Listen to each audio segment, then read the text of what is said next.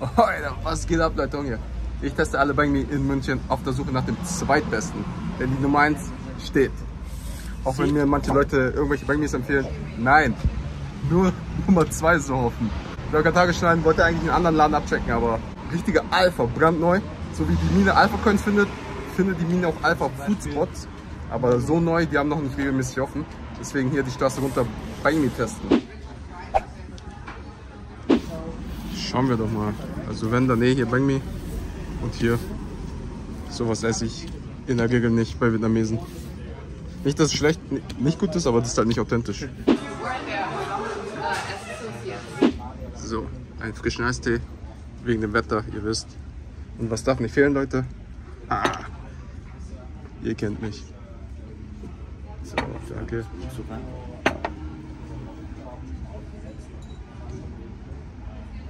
Ja. Ohne die Süppchen. Ah, okay. Oder am Tisch. Danke. Okay, Leute, Fail. Auf der Karte stand Banh Mi, aber es gibt irgendwie so einen Eintopf mit Brot an der Seite. Und das ist kein Banh Mi, das ist französisches Baguette, deutsches Brot. Aber hey, kann vielleicht trotzdem schmecken. Wenn ihr bei irgendeinem Vietnamesen seid, okay, das geht gar nicht, wenn die Frühlingsrolle halbiert ist. Weil dann sieht es nach mehr aus, aber es ist einfach nur eine. Crazy, dass das so genauso viel kostet wie früher im Döner. Ich kann es nicht. 5, 6 Euro für 7 Euro.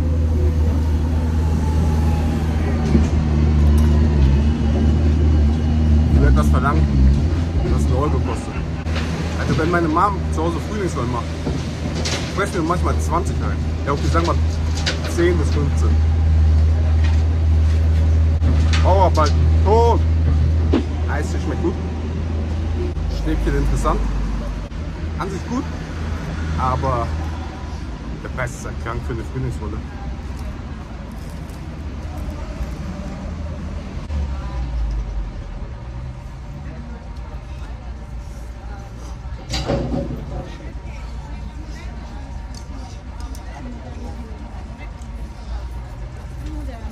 Für Vorspeise.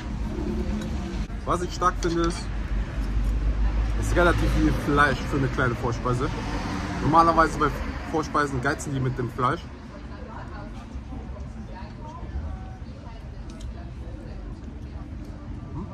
Hm. Hm. Kann was.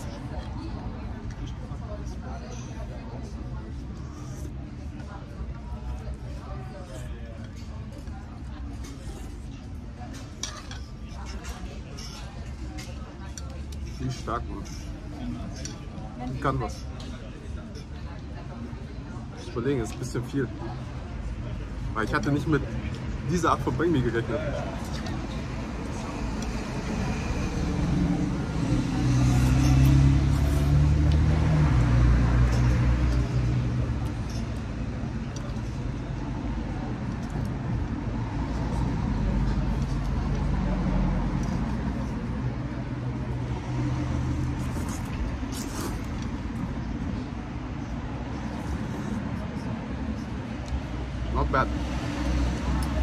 Das ist echt stark.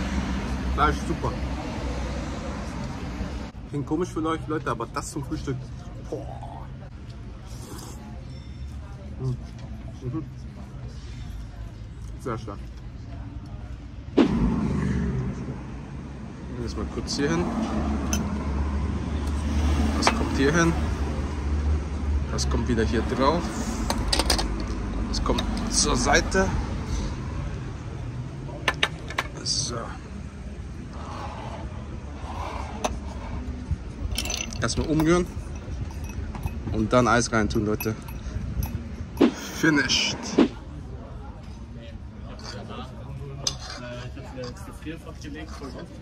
Jetzt ein Bang Me wer Kirst. ja, nee, wir haben.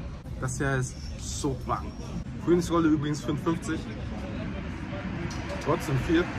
Bisher aber sehr solide hier. Problem ist, der hat starke Konkurrenz. Wir waren letztens beim wahrscheinlich besten Vietnamesen. Super authentisch. Der hat mich umgehauen. Also, dass der, der hat halt jetzt Wird schwer für ihn da ranzukommen, aber an sich sieht es sehr gut aus.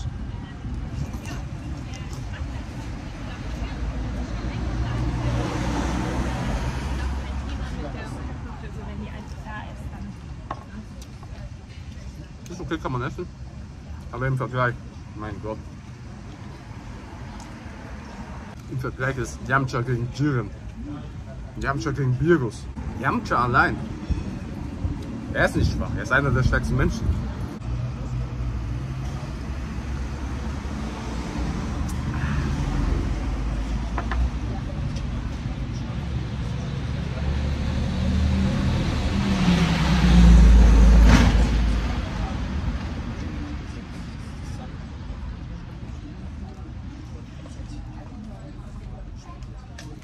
Ja. Mein, ich werde es auch essen, natürlich.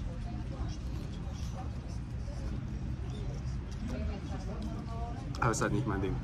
Das hier.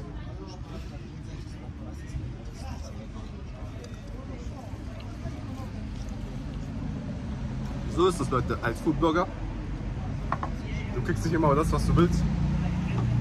Wir sind auf der Suche nach dem besten Banh Kriege ich das.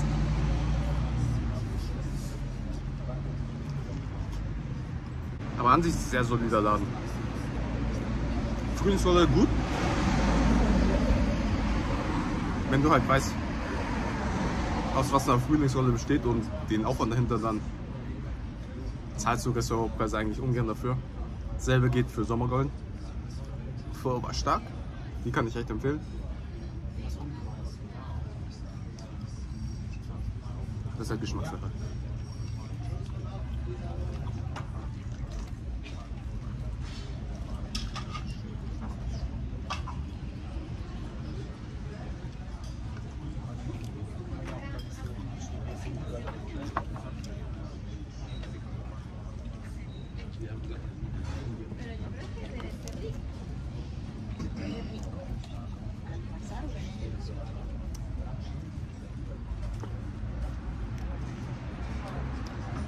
Also was ich nicht mag ist, es ist zu suppig. So wie ich es kenne, ist eher wie Eintopf. Dann ist es auch viel geiler mit dem Brot.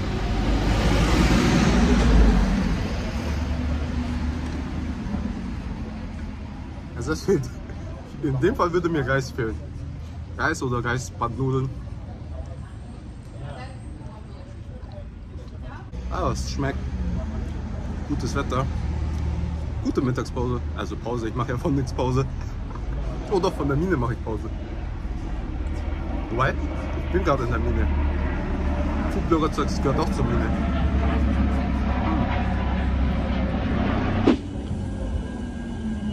Könnte zarter sein. Ich hatte es letztens erst zarter, aber ist zart genug. Wir sind Finish, Leute.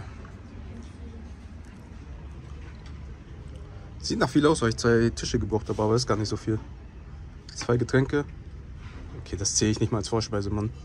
Das ist in einem Atemzug weg. Eine Vorspeise, eine Hauptspeise. Filler-Episode, Side-Arc, Leute. Bubble Tea. Nach irgendeinem Video, was ihr gerade gesehen habt. Wir sind bei Kiosk Nono. Kiosk Nono. Der bestbewerteste Bubble Tea in München. Ihr kennt den, ich war schon oft hier.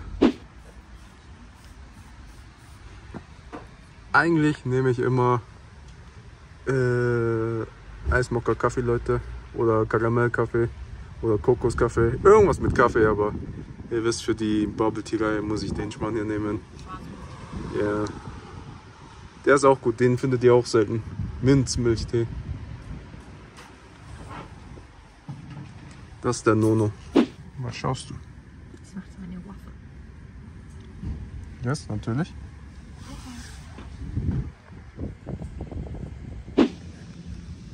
Milchtee. Kumquat irgendwas. Ah, da steht eh drauf Kumquat Zitrone. Stich.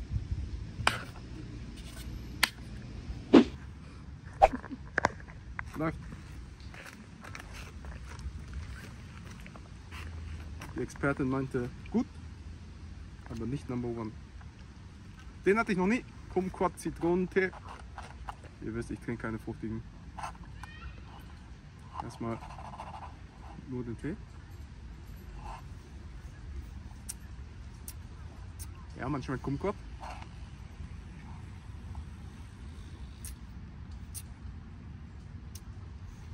Fresh. Alles gut. Ich mag es ein bisschen süßer, aber ist Geschmackssache. Man sieht auch den Kumquat. Man sieht auch den Kumquat. Wow.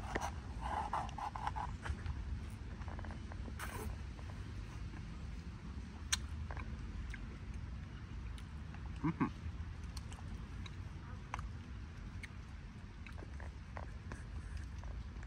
Ich mag süßer. Ich auch. Alles gut.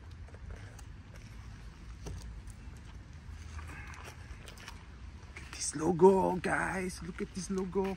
Schwarzer Milchtee plus Tapioca schwarz. Nur Milch. Mm. Oh, der ist gut gesüßt. Oh, der ist stark.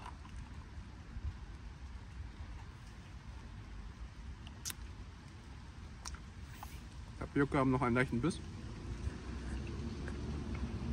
Mhm, mhm. Ich mag. Ich bin so ein Fan von gesüßten Tapioca. Das gibt nochmal so ein bisschen extra Kick. Die sind es nicht, aber der Tee ist stark. Der Tee hat perfekte Süße, gute Tee-Milch-Ratio.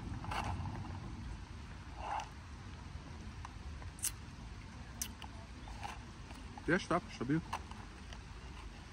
Mhm. Haben die auch, Leute. Bin mal gespannt. Ich hatte noch nie einen Eggwaffel. Wird der platzen, wenn ich reinbeiße und mein Shirt versauen, wie immer? Nein. Hm, schön warm. Hm. Ein netter Bonus. Mhm. Mm.